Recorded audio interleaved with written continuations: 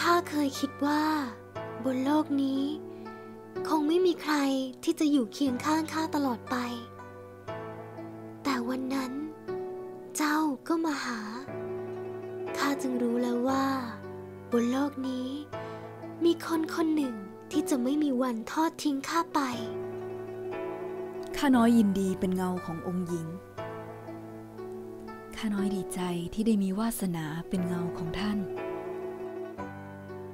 นี่ เจ้าดูนี่สิ เงาอยู่ที่ไหน